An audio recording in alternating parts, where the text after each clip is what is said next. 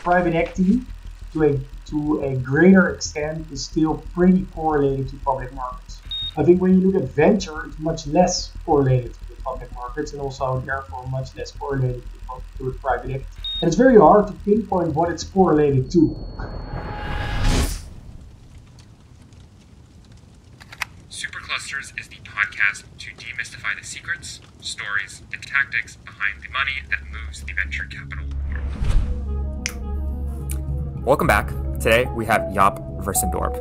And Jaap is the managing partner at Marktlink Capital, and that's Market without the letter E, M A R K T L I N K Capital. You might be familiar with Jaap's prolific 2023 writings on Medium, my favorite of which is Why to and Why Not to Invest in a Fund of Funds piece back in August of last year.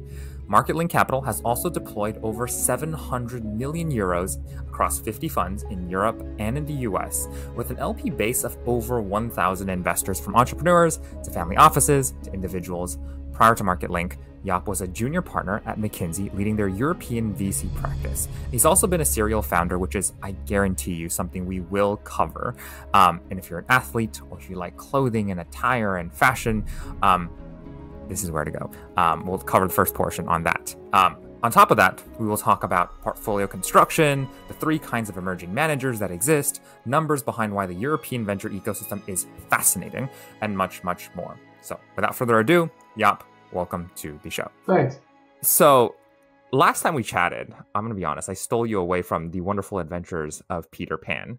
Um, so, this time around, it, it, it's such a great like movie as well. I, I, like because of you that weekend. I ended up watching Peter Pan again because I was like, oh, you know what? I I haven't tuned into the wonderful animated movies in a long time, and I love the feel good movies. And Peter Pan just happens to be one of those great kind of like inspiring movies to watch. Um, so thank you for the inspiration there. Um, oh. And the wonderful thing is, Jaap, you are across the world from me right now. And, and one of the greatest parts of having these conversations digitally and virtually is that while I'm still a work in progress for the show, um, I don't have to validate parking.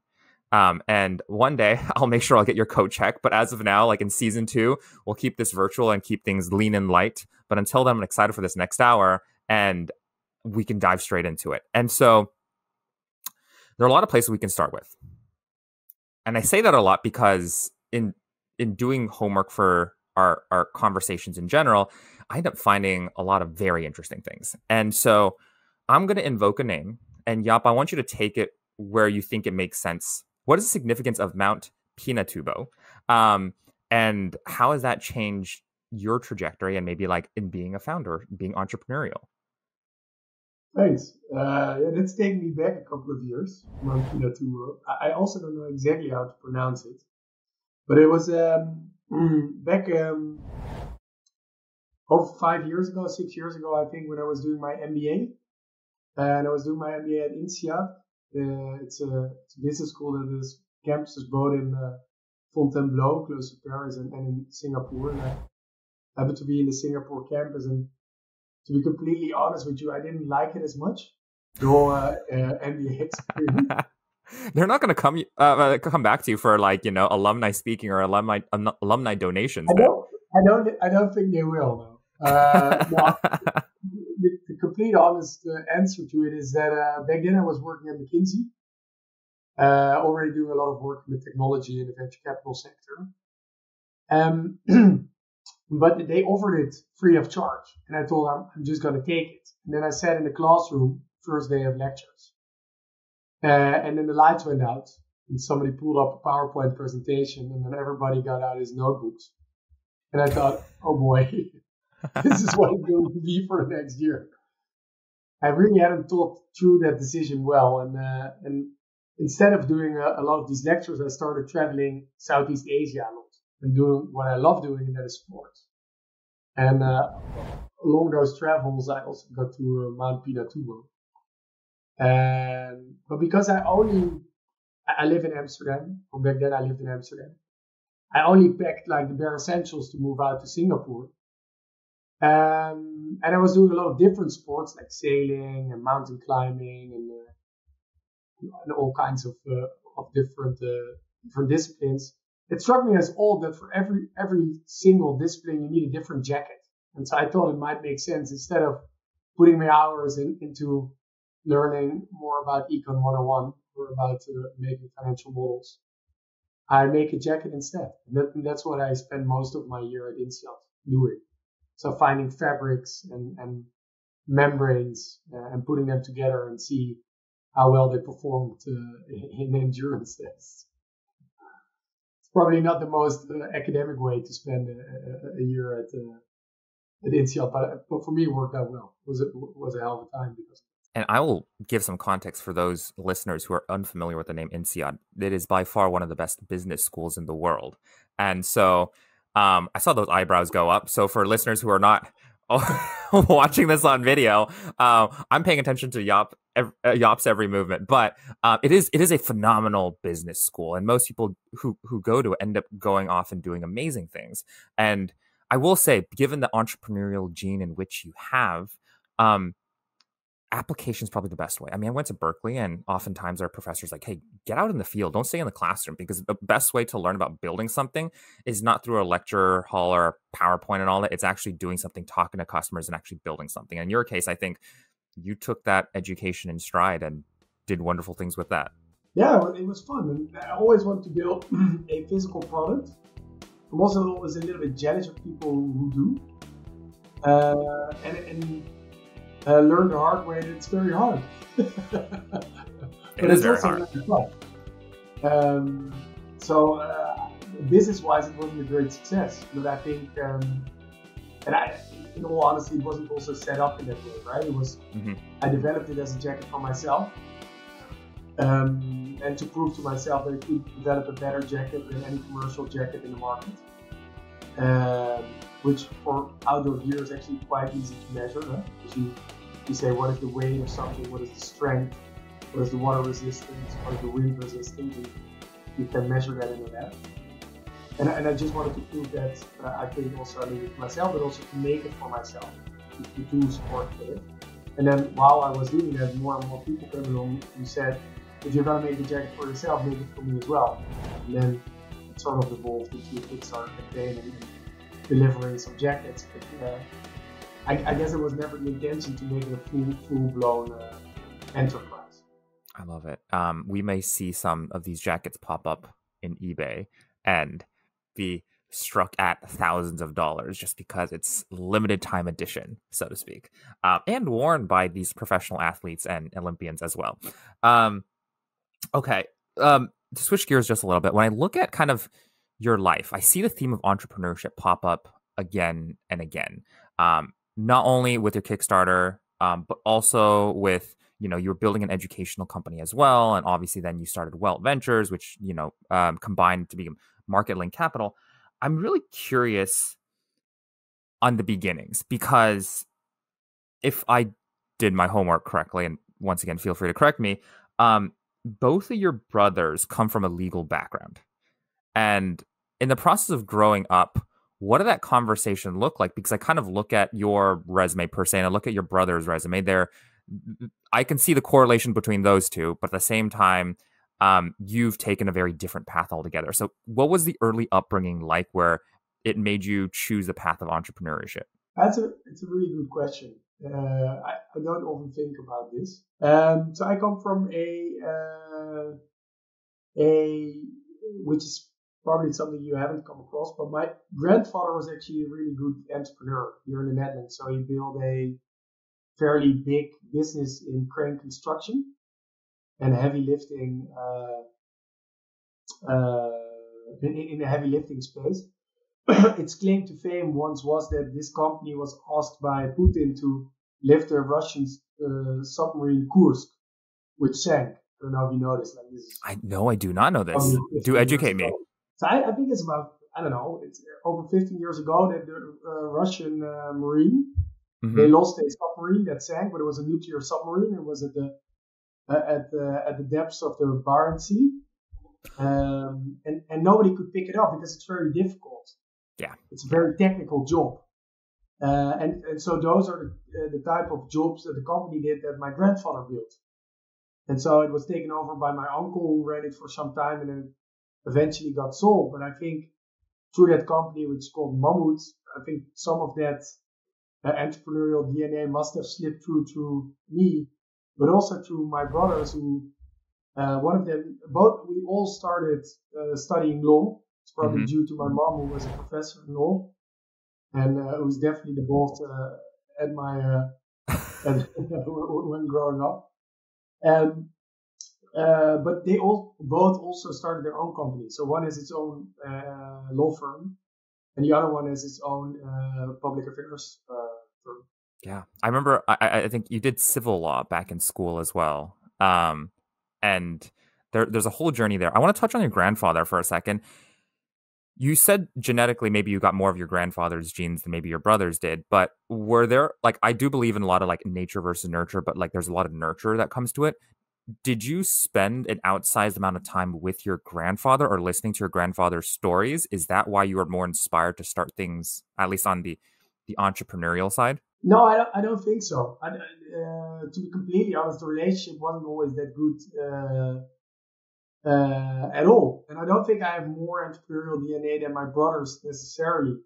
I just think that um, there is some there might be there's always a discussion, right? This might be the nature element to why I ended up doing doing some entrepreneurial things, and why my brothers did as well. I think the other element, and that's that's probably more more nurture, is that we were always raised by um, asking ourselves the questions: How can you do better? Right? Hmm. I come from a from from a family where if you got a B in school, they would always ask, that's great, but why isn't it A? And I think if you look at the world in that way, that you come up with ways of doing things differently. And right. that eventually lead to, leads to entrepreneurship in a way, or, or, or not, but in our case it did. And, uh, and I think it's more driven always by ideation mm-hmm. than it is, as some people have, by determination to do their own thing. I don't think it was that necessarily for me. It's just that sometimes I feel, or I think uh, more precisely, that, that there is a better way of doing stuff, like making a jacket or starting an educational technology platform or uh, creating a, an asset manager, as, as we're doing right now. That makes a lot of sense. There's um, a lot to be said on the the way you think about the world, but also like not accepting the status quo. Um, and wonderful institutions obviously teach that and preach that. But at the same time, if that is a part of your upbringing growing up, it makes a lot of sense in the sense that you look at something, you don't accept it for its face value, and you're like, well, if I'm going to spend a lot of time with this object, with this topic, with this sport, um, let's make it the best version it can be. And sometimes it leads to adventures where you make your own jacket. Exactly. I think that's very right. I think that that, that, is, that is explaining it in, uh, in a perfect way. So I want to pivot the conversation into the world of LPs, fund to funds, all that kind of stuff as well. Um, when when you first started Welt, I'm actually really yeah. curious. Um, you publicly said that you and your partner, and forgive me if I'm butchering the pronunciation here, Book Book Book Buka, Bauke. I'm totally off. Okay, Bau Bauk Bauka. Yeah, Bauke. Uh, so Bauke is spelled. Don't don't don't feel ashamed. It's a very Dutch. thing. I should have asked you this in the pre-chat, but whatever. This is gonna make it into the actual show, and people can see me fumble and and all that. Um, but for for for those listeners, Bauke is spelled B O U K E. Um, so Bauke, you and Bauke gave yourself a maximum of one year post McKinsey to go from being a consultant and I quote successful on uh, successful investor. And I freaking love this. And not to and we mentioned this in the pre-chat, but not to sound like a fortune cookie, but I do believe that constraints are the breeding grounds of genius. Um, so I'm curious for both you and Bauke, um, who were both instrumental in starting McKinsey's European VC arm, why leave and why give yourself only a year? Uh, that's a very good question. Uh, which I can only answer with a sort of long, longer answer. So I hope it's okay. Hey, we got time. We got time. Um, so, Bauke and I at McKinsey were running a uh, program that was called Fuel. And that was basically the McKinsey practice for startups, unicorns, and venture capital funds. And it was going very well. Uh, but Bauke and I were both uh, coming to that age where we were both becoming partners or getting into the partner trajectory. And for that, we had to do a lot of research. And uh, we got one and a half year to do that research. And it was a three piece type of research where first part was on the top thousand companies in technology that were founded since 2000. Second piece was on the top VC funds in Europe. And the third one was on the top LPs in Europe. And we published the first one together with World Economic Forum. And then this, on the second one, I looked at the article and I, I said to Bob, this is more of a thesis for a fund of funds. Why don't we quit McKinsey and do that? and and uh, Bauke looked at me and said, yeah, I think you're right. I think that's exactly the right way to progress. And so we quit our jobs at McKinsey, but uh, and McKinsey said, what are you going to do? Why, why are you leaving? This is the worst moment to leave, you know? There's, there's loads of money in your future here. right. And to timestamp this for our listeners, could you could you mention like what what year this was, what year marking, where this all happened, when this all happened? This I think 2020 or 2021 or something. So hectic time. So McKinsey's looking at you and like, why why would you why yeah, would you do this in a crazy world? Exactly, you're you're well positioned to to to, to uh, make a career year, and then then we explained what we were going to do, and they said, okay, but that actually makes a lot of sense.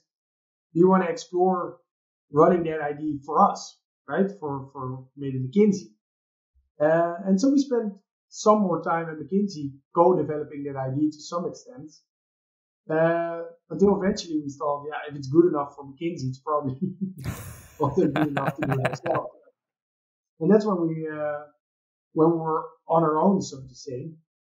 Um, but at the same time, we, we thought we need to be realistic about what, what we're going to achieve here and set ourselves a goal, both in terms of time and also in terms of what we want to achieve in, in, in, in, uh, in fundraising and getting the right funds to, uh, to allow us to invest. And, so we were very, I think, goal driven from the beginning to, to set our targets quite straight. So publicly, you mentioned that you gave us, you gave your you and Bauke a year to become a successful investor, right? To pivot from consultant to a successful investor. In your mind, what did success mean? Was it a certain target raised? Was it like a certain amount of deployed? Like what were you looking? How were you define? How were you deci- defining success in terms of a KPI, key performance indicator per se? I think I think we wanted to have raised our first fund mm-hmm. and, and and partially deployed that. I think we wanted to have expanded into private equity as well. So we started off with a venture fund of fund. I think that was the second one. And I think thirdly, we wanted to have a, a very engaged and different type of setup of LPs. So mm-hmm. we wanted to have entrepreneurs only, want to have people who could add value, who understand what we did, and want to make a very close knit community. And I think those three, so fundraising, really good funds, really good LP base, those were the three things we sort of measured ourselves by. But in, in all honesty, and I've, I've noticed this across many different things, it's also sometimes success is also just a feeling, uh, without sounding too touch feeling. And, and sometimes you notice that there's traction, right? You almost, it's almost a buzz in the air. Yeah. And in the beginning, it's sometimes really hard to find. And then at some point it is there and then, and then it keeps on going and it keeps on expanding. And then becomes more of a game of controlling it in the right way, finding the right people. But if, I think in the beginning, it, it, uh, we, we, had a, a, couple of very concrete uh, goals, but I think it was more of the feeling when it when you have the first uh, first couple of milestones achieved and you see that the buzz is there. I think that was that was something that we said. And I think this was after nine months or so that we said this is this is something different. And to make it more concrete, and let me know if I'm putting words in your mouth, Jaap. Um, I imagine it you're starting to feel the pull of the market instead of pushing against the market. Instead of going, hey, would this be a good idea? Would you back us kind of thing? You're starting to feel people like organically come to you and tell you, hey, this is such a great idea. Like, how do I get my friends involved? How do I get involved? How do I get my families involved and all that? Um, and in, in a lot of ways, I mean, it's like you found effective like product market fit, right? And maybe it's like the Sean Ellis question of how disappointed would you be if we took this product away from you? Very disappointed, somewhat disappointed, you know, not disappointed, and 40% or more say very disappointed, so to speak. Um, so could be that as well.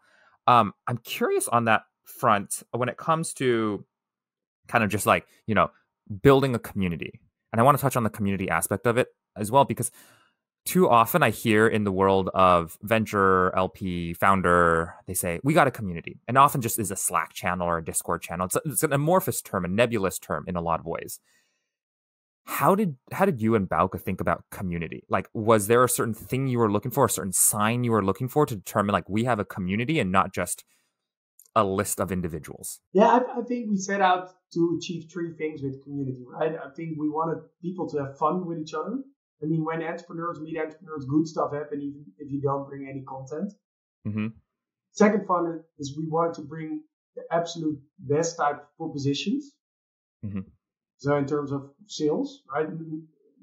It being sales almost without being sales, right? Where you offer something that people really want. And the third thing is organize knowledge in a way that nobody does. So wanted to, to give you an example of, of all three in on the element of fun, we bring we have over a thousand LPs now. I think we bring the majority of them to the Formula One in the Netherlands. Holy cow! We, yeah. How can I be an LP? Can I can I can I join? I love that. I, I, personally do not care too much about Formula One, but we have a Dutch uh, race car driver called uh, Max Verstappen who always wins, and so that tends to uh, cause a good atmosphere. On the, on the second one, I think both our private equity and the venture capital side, we've been very targeting what we do and what we don't do. And I think it's something that there was very little uh, access to in Europe and in the Netherlands specifically, so that there's a lot of pull instead of push, like you said. Mm-hmm. And on the third thing, we organize um, knowledge event. Like, for instance, last week we did something which is called the World in 2024 which is based on what The Economist does, right? End of the year, they often publish a magazine where they look ahead in, into the year to come. Where you ask both on the technological front, on the economics front, and the geopolitical fronts.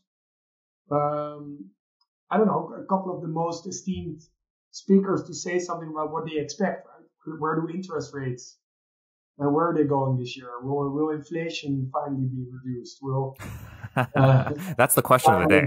Taiwan. will, will Trump win the elections in the, in the U.S., which is sort of a, a Trump card? That makes sense.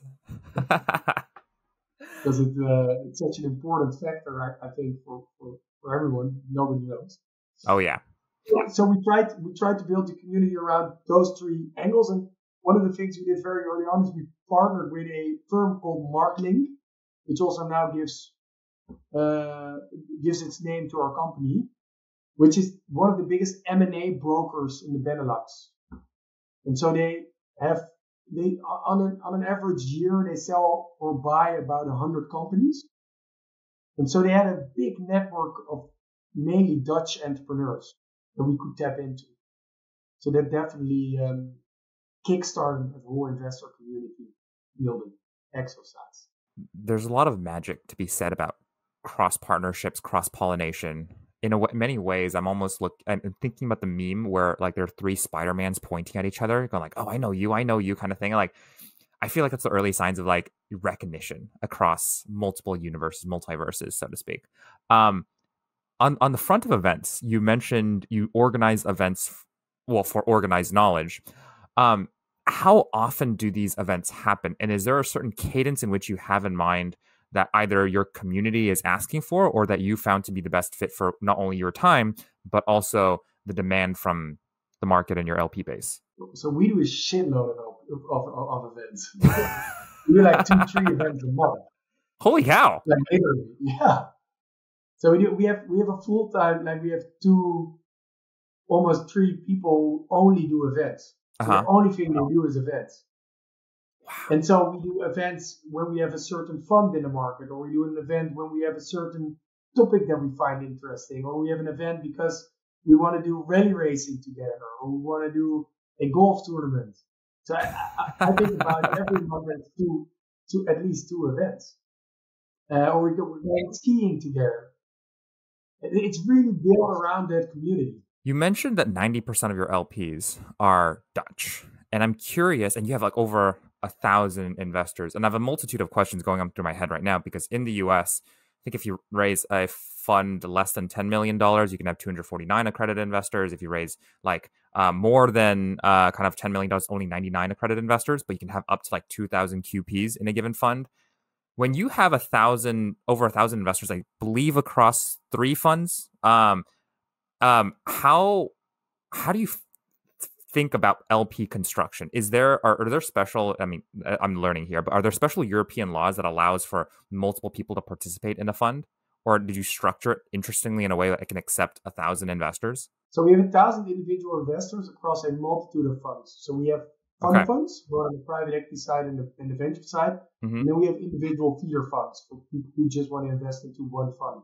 Gotcha. Uh, Is there a cap on on the number of LPs you can bring in in Europe? No, there's not a cap on the number of LPs, or, or at least not that I'm aware of, so we're not, not reaching that cap.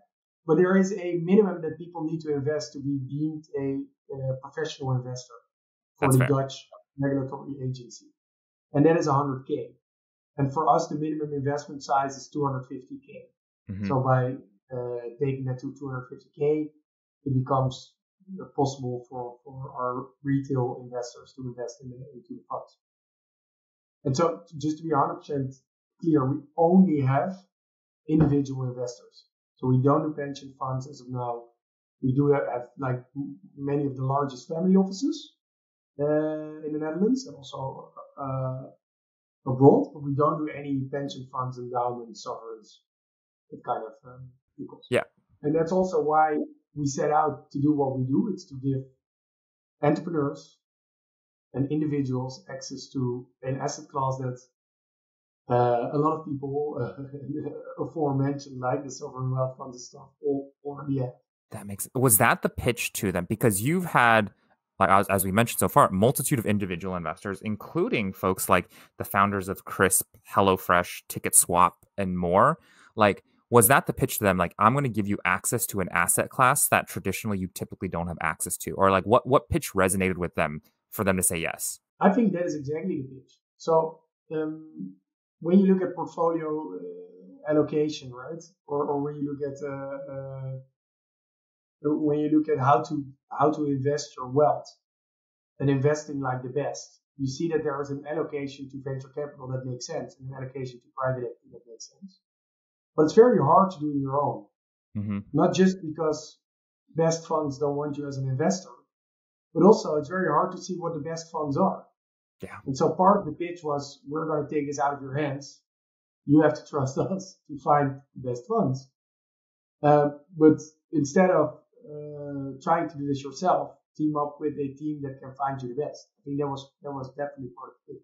I'm curious as you're as you've talked to so many individuals who've become LPs in your funds who want access to venture capital. And I often say, like for individuals and smaller family offices, venture is less of an asset class, but it's more as an access class because they don't know where to go find these company, uh, the, these firms. Um, what do you typically see in terms of allocation models for individuals? Like how much, what percent of their portfolio do individuals, in your opinion, uh, of what you've seen, typically put into venture and private equity? I think what we see across the board is that um, people invest about 30% of their wealth into private markets so private mm-hmm. equity and venture. And then within private equity and venture, they do about 70 30, again, into buyout versus venture. And then growth is somewhat mixed across the two. Um, so I think that's that's typically what we see, but there's a lot of different uh, different flavors to it. I think young people tend to do a little bit more venture. People who have been successful in venture tend to do a lot more venture. a lot of entrepreneurs. Yeah, and I think um, uh, the more uh, sort of mom and pop shop you get, the more the more private equity becomes attractive. Yeah. And, and we truly believe, and that's why we do both, that it's the combination that creates a lot of success. Yeah. I mean, venture and private equity are, are pretty uncorrelated asset classes, which is phenomenal. Well, actually, can you can, can you dive deeper on that that section? Sorry. Can you dive deeper on like why venture and private equity are uncorrelated for kind of the emerging LP in our audience? Yeah, sure. So I think what we're seeing in the data, and I think this is not uh, a very proprietary knowledge. I think a lot of people see that is that private equity to a to a greater extent is still pretty correlated to public markets. And so there's a, certainly a delay and it's certainly less volatile. And on average, you, you do get more alpha, I think, in private equity, especially if you go more to lower mid market. But it's still pretty correlated with public markets. I think when you look at venture, it's much less correlated with public markets and also therefore much less correlated with, with private equity. And it's very hard to pinpoint what it's correlated to. it certainly has an influence of interest rates, but it's also very much influenced, I think, with technological booms, right? So, um, introduction of the iPhone, introduction of cloud technology, potentially introduction of uh, AI technology, or, or, at least the the um, the boom of AI technology that we're experiencing now. Very much too early to say, but it could, it could be. And by combining different asset classes that are both very um, high yield very uncorrelated, you don't only up the um, the average return that you're going to get, but you're also lowering a little bit of the risk and the standard deviation of your portfolio. I think that's why we set out to build. Gotcha. When you say that venture is, uh, you know, like the, the, the optimum is like 70 30, uh, like buyout to venture is there is there data that informs this? I, have also talked to multiple LPs who have that similar distribution when it comes to buyout versus uh, venture. Like, is is there math or data that sh- like proves that hey, you know, this this is why it's the optimum? Is it largely just because of check sizes into private equity or like buyout versus venture, or is it are there other reasons? I think there are many reasons, to be honest. I think one of the one of the biggest reasons is that buyout scales well. Uh huh. Right, to, to some extent, uh, and, and not talking large caps, but I think buyout is much easier to scale than a venture firm, which basically means that venture stays small. Mm-hmm. So you need to, especially if you're building a fund of fund or you're building your own portfolio, you have to stitch a lot of funds together.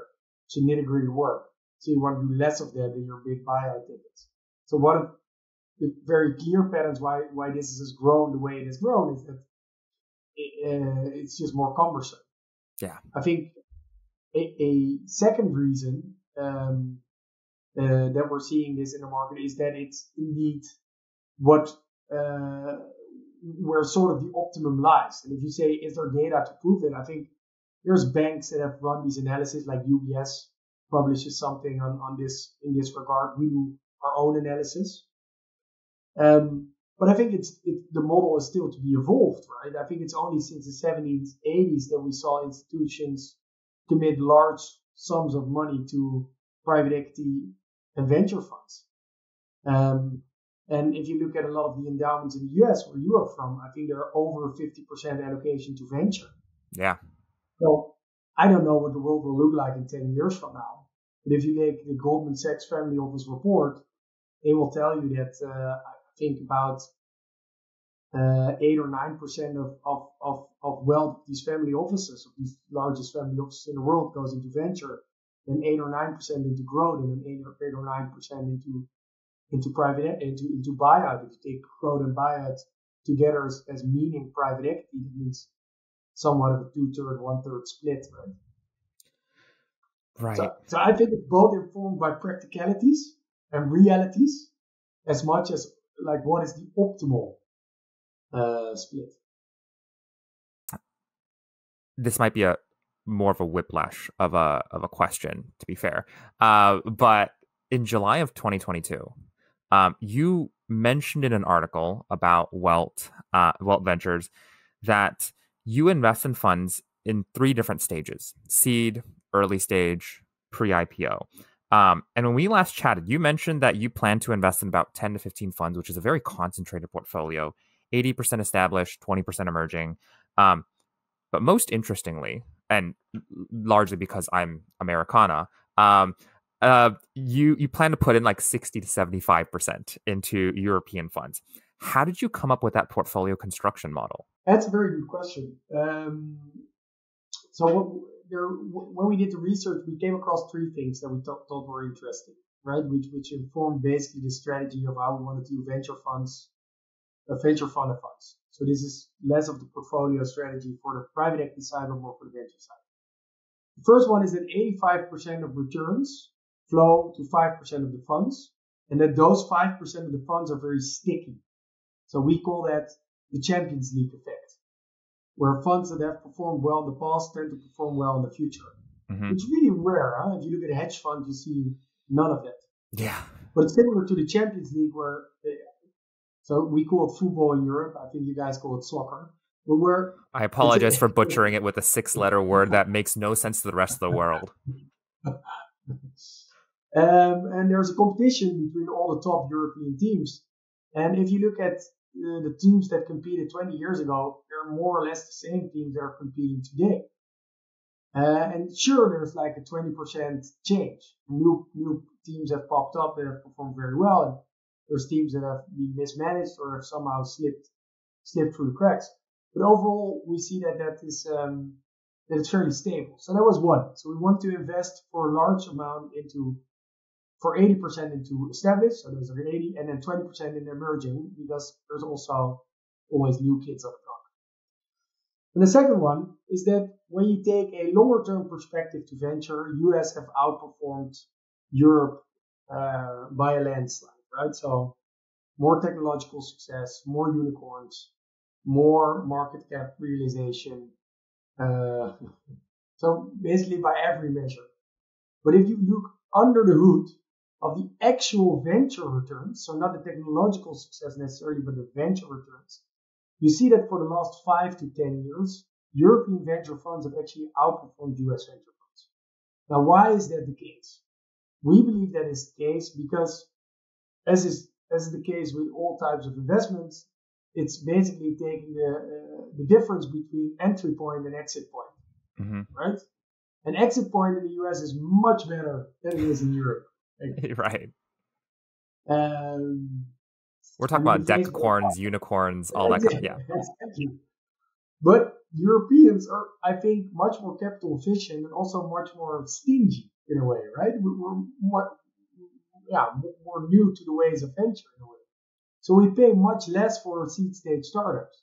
And so that delta creates a little bit of difference that at the end of the, at the end of the, at the end of the drive delivers more alpha to the venture funds.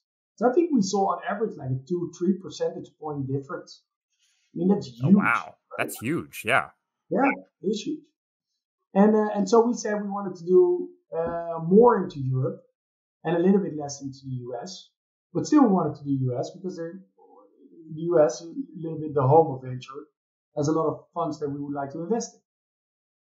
And then thirdly, uh, uh, I think that's maybe the most controversial thing because I think a lot of fund of funds do this differently.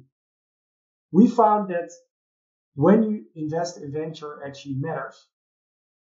So it matters whether you invest in 2008 or 2001 or, now, right, in 2024. And it matters significantly. Significantly more than it matters into private equity. But as we've discussed before, it's very hard to pinpoint when is a good time. And why is it hard to pinpoint when it is a good time? It is fairly okay to judge when, when something is a good entry window. Right? You could still have a theory about one, what could make, what could constitute a good entry window. High interest rates or valuations are low. Technological boom with the rise of AI right, that could provide for fertile ground to start investing in venture. But the truth of the matter, when we look at the data, is that the entry point matters much less than the exit point. And because venture is about outliers, and outliers are created through IPOs, the exit window matters a lot. And to create a big enough exit window to let every vintage and that we create in the fund of fund world be a good vintage. We invest from pre-seed, that pre-seed funds, right, that invest in companies that need to go to the stock market maybe in seven to eight years. So we pre-seed and seed we call we call seed. Then Series A and Series B we call early stage, and then everything later in that we call growth. We also don't make a distinction between growth and late stage. Mm-hmm. I think it's it's everybody everyone defines this differently. Yeah. Um, and so we we pinpointed it to the series. Gotcha. That's, that's, how we adjust. And so the reference point, if I'm understanding this correctly, is the Series A, Series B, and both before and after shifts as a function of the market. Exactly. Gotcha. Um, yeah, because the definition of uh, let's be honest, like uh, I think this was a tweet. We could probably pull it up somewhere. I think Andrew Chen said this at Andreessen that um, like I think he said this in 2022 or 2023, but uh, 2023 seed is uh the equivalent of like a 2016 Series A or something like that.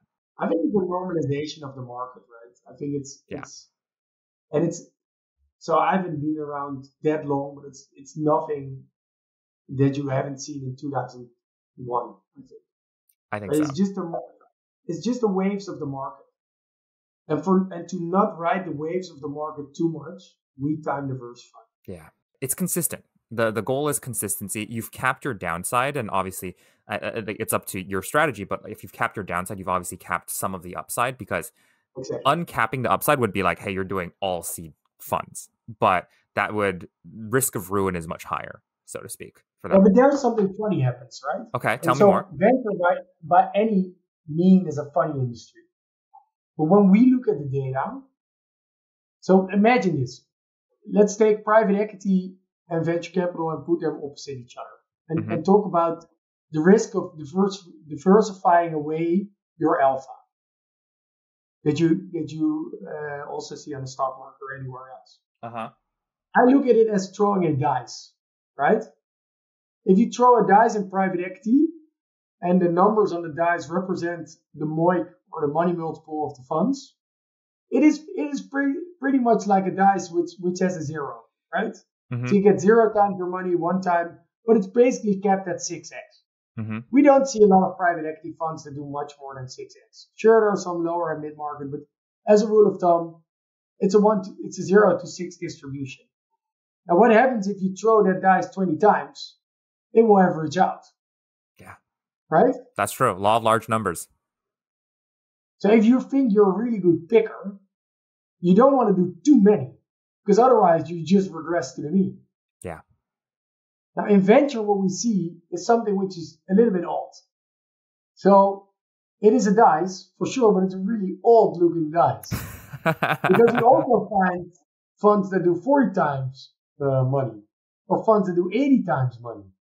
Right? So you have a, you have a dice that is uh, structured in such a weird way that it actually makes sense to throw a couple of times, right? To make Mhm. sure that you have also this outlier, outlier MOIC on your dice.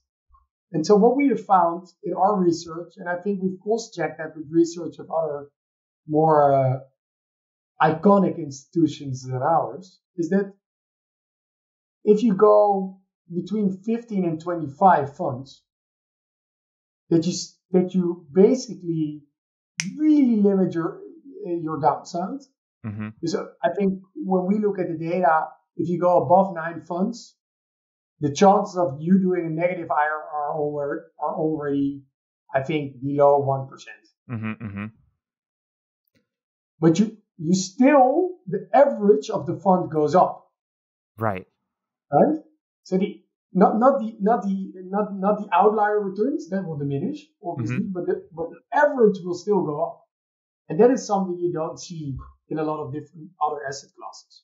You might see it in crypto specifically. You might see it in some also other secured um, asset classes, but you don't see it in, in private equity, for instance.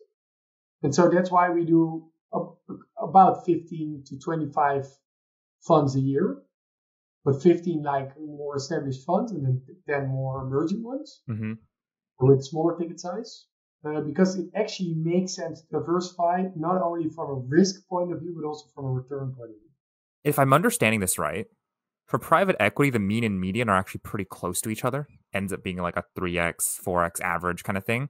Whereas in, in venture, the mean and median are actually quite different numbers. Exactly. um, because we have like you know the, the, what what is it like you have Chris Sacca's fund like lowercase capital fund one did like Twitter, Uber, Instagram, and I think I think also Stripe in that fund, and it was a 250x on on, on money kind of thing. And you have other funds, you know, obviously outliers are outliers, right? But on average, you're probably expecting a little bit closer. Like you're probably underwriting probably a 3x, 5x, like 5x on a seed, 3x on a series A kind of fund, give or take. But you're expecting their they're they're going a little. Oh, you're going. Oh, you're going higher. You're going higher. Okay. Tell, what is what is your underwriting? What is your underwriting for seed and Series A or seed and early stage? Now, just to comment on that thought. Okay, so you see a lot of funds that have done over 100x, but are also smaller than 10 or 15 million, right? Yeah. And these are these are more to me. This is more. I wouldn't say it's uh, it's it's it's more noise than signal Gotcha. because the chance you finding that is is so rare. And we talked about luck before and fortune cookies, but it's like game, it's it's it's a diff, it's not a game that we play, and it's not a game I would feel comfortable playing. yeah. But you also find a lot of funds who have over 25x with a 50 to 100 million fund, right? hmm And I think that is, and, and often not the first fund they raise, often the second or the third fund they've done. Right. I think that is that is exceptional. That is something that is that is very still very rare, but we see it, and that's something that we that gets us very excited. So is it accurate to say when you put like let's say 10 investments into emerging managers, these are typically fund twos ranging from 50 to 100 million dollars? Yeah, yeah, yeah. So, so yes and no. We also do first time funds. Okay. We also do first time small funds. I think for us, what we do, how we think about portfolio construction on the venture side is that eight, so 80% or 75% is established. Mhm. That should bring alpha. But it also should bring stability. Right. And then we have 20% or 25% to uh, create outlier returns. So we're, we're willing to take on more risk there, but we want to see real alpha, real value creation there. And we typically find real alpha, real value creation in three types of emerging managers. So either it is a spin out, solo GP spin out, team spin out, people who are really good investors, really good venture capitalists, will want to build their own thing or want to do their own thing. The second thing we see are thematic experts. So people who have, and these are often, very often, these are people who come from academia. So uh, who have a PhD in a certain field from the top universities, have started building things themselves, have seen things in passing, have maybe gone to a fund and started investing there, or maybe not even and immediately gone solo, but are super vertical specific, so very technolo- technological sound. And the third thing we see is people who've often been in venture for some time and want to do something different. So they have created a thesis that by then often people don't believe yet, but sometimes ends, ends up to be true? And, and, and, uh, whether that is aligning GPLP incentives or building indices or creating proprietary exits in one way or another, or doing structured deals at seed, whatever it is. We're curious to learn more about it because we feel that there's real alpha there. I mean, the game is continuously being reinvented. And, uh, and, and, and so those are the three type of emerging managers that we are on the, on the lookout for. I want to touch on the last one, which are folks who've been in venture for a while but want to invent something new. Are there things you've seen in the past couple of years or so? Like, what's one thing that's like stood out to you in terms of being unique and against the grain? So this is a very European example, and I think Seedcamp Mm-hmm. uh, is a good example in Europe. Right? I think when they set out 15 years or something ago uh, with a spray and pray model, I think people, especially in Europe, thought they were a bit crazy. right. Uh, and uh, doing 100 investments out of 100 million funds didn't make a lot of sense back then. Yeah. Um, and I think they've proven the market wrong, right? They're a phenomenal fund. They have stellar returns. They're in the likes of TransferWise, Revolut, UiPath, right? All of the big, com- they, they basically haven't missed many of the big companies that have emerged in Europe over the last 15 years. Mm-hmm. And they've done that through creating a very differentiated strategy and building a really good brand on top of that. And so that game has been played um, over a decade ago. And I think what is our job and what makes our job interesting is thinking about what is what is the Seedcamp model of today, right? What, Right. what will what will be the model that is going to change venture now? I, we went off script so many times in this conversation, and I hope there's enough for you in there to, to do an, an actual episode. But, uh, I think. Well, I mean, our our listeners can fact check me here, but there are so many good nuggets in here, and I mean, we'll de- we'll definitely have to like round you out for another episode. Um, but yep, thank you so much. This has been such a pleasure to have this conversation. I know you're in a lot of places. You're on LinkedIn. You're you know you write on Medium. You have your email address out there. But of all the places out there, what is the best place for people to find you? I think on LinkedIn is a pretty good place. I don't do Twitter. Uh, I don't do Instagram. you, I will say, I I tried to find your Instagram, couldn't find it, but I have found your your your jacket company's Instagram, and through that, yeah, uh, through that, I, I saw pictures of you, and who knows, we might in the, the, the, edits add some pictures throughout this episode of you through that with your permission. Um, but Jaap, this has been such a pleasure. Thank you, thank you so much. Um, and we'll see you on the flip side. Cheers, much appreciated. There's only two things you need to do in life: know something about something and do your fucking job. Hello, Superclusters fans. You've seen the logo at the beginning, and now we're here to address the elephant in the room. And the big question is how intertwined is superclusters and Alchemist Accelerator?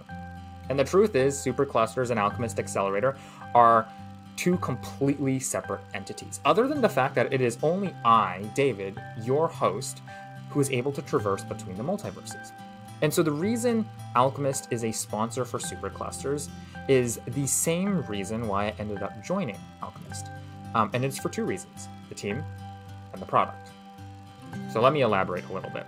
For the team side, I was doing a bunch of diligence, homework, reference checks before I joined Alchemist, and I stumbled across a story which was between Ravi and an early team member of Alchemist. Um, and for the sake of this story, I'm going to call that person John.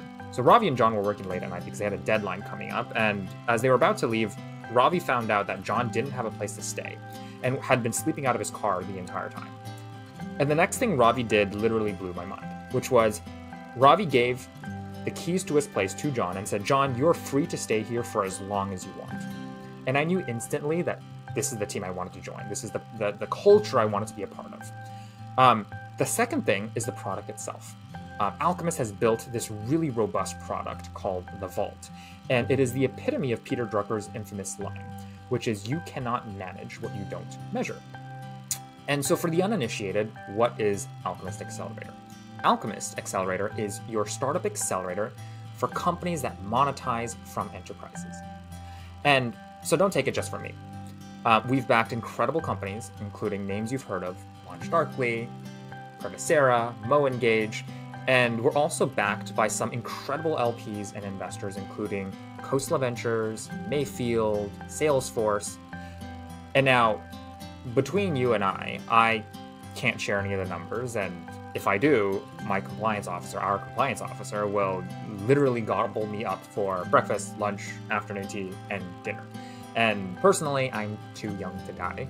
And but I will say, the numbers, they're great. Like they're really great.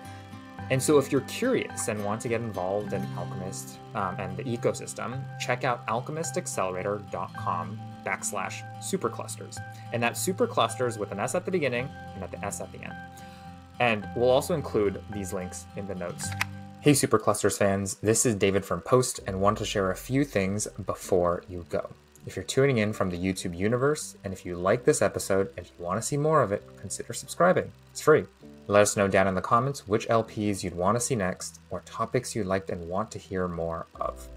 If you're tuning in from the audio universe on Spotify, Apple Podcasts, or wherever content finds your ear, and you liked what you heard, give us a follow. And lastly, want to share a quick disclaimer from our legal friends. While I am the head of investor relations at Alchemist Accelerator, and that Alchemist Accelerator is one of our proud sponsors, the views expressed in this episode are for informational purposes only and are solely the views of myself and the guest alone. They are not representative of Alchemist Accelerator. None of the views expressed herein constitute legal, investment, business, or tax advice, and any allusions or references to funds or companies are purely for illustrative purposes only and should not be relied upon as investment recommendations. Consult a professional investment advisor near you prior to making any investment decisions. And that's all from me. See you on the next.